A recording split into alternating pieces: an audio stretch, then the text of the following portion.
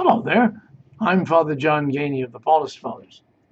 The plane has no fixed seats, no flight attendants, no in-flight movie, and no bathroom.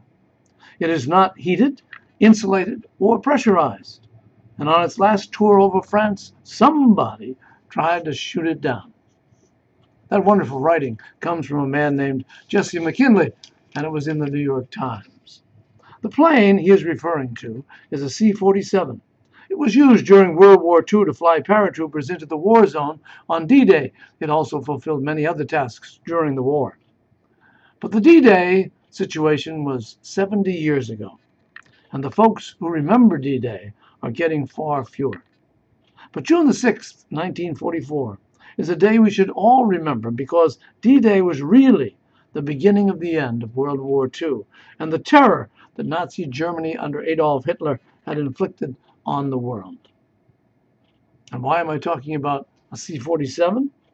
Because five pilots are going to attempt flying across the Atlantic with a restored C-47 at 140 miles per hour so it can take part in D-Day festivities as they come up. Coverage of that sort is rare, and I believe it's important to honor it and to honor, too, the men and women who made D-Day and many C-47s succeed at their tasks, preserving freedom for you and for me.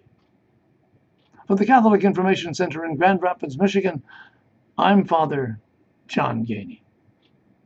Thanks for being there.